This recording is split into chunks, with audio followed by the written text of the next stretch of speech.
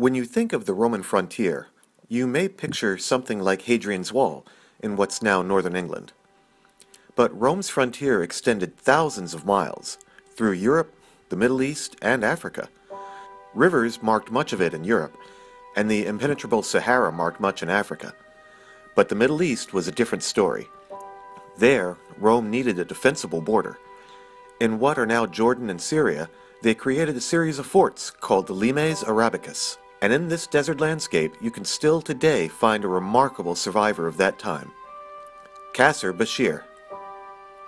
Built under Diocletian around AD 300, somehow this fortlet has largely escaped the ravages of 1700 years.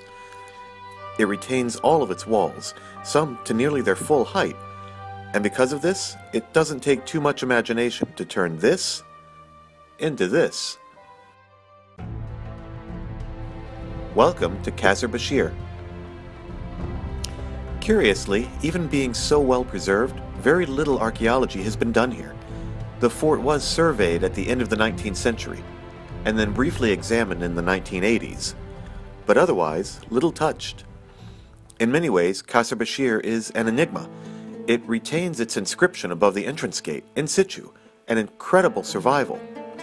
Yet the inscription doesn't mention the name of the unit that built and manned it, only that the fort was called Mobene. So who did man this fort? Who was in charge? How many soldiers were stationed here? What kind of soldiers were they? We really don't know. In the ruins of the internal walls, surveyors found niches that they took to be mangers or troughs for horses. About 20 such rooms line the inside of the curtain walls, with three niches each. If these were troughs, this would represent a cavalry unit about 60 strong, two turmae to apply a Roman name. A cavalry fort does make sense, mobile enough to patrol the rolling desert, and to maintain quick links with the forts of El Lejjun to the southwest and Thuria to the north. So I have arranged my Qasr Bashir to reflect this, with stabling on the ground floor and soldier quarters above. Even though the unit serving here must have been small, barely a tenth the size of a Hadrian's Wall fort, it still had large needs. For one thing, it needed food, possibly carted in from El Lejjun, and most likely cooked out in the open air.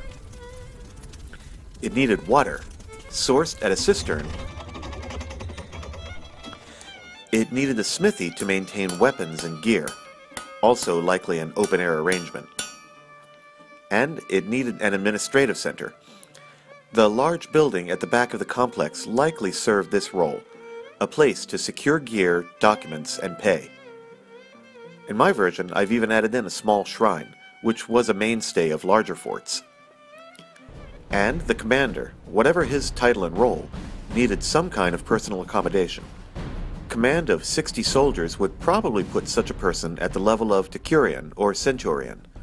So I've reflected that here. A guarded entrance to stable and storeroom, with his private residence above. And that, sadly, already takes us to the edge of our actual knowledge about Qasr Bashir. Was there a granary here? A bathhouse? Was there a hamlet or a village outside the walls? Was it really a cavalry fort? And, in this arid climate, might written documents still survive amid the rubble, revealing bits of ancient life on the eastern frontier? These are all unknowns.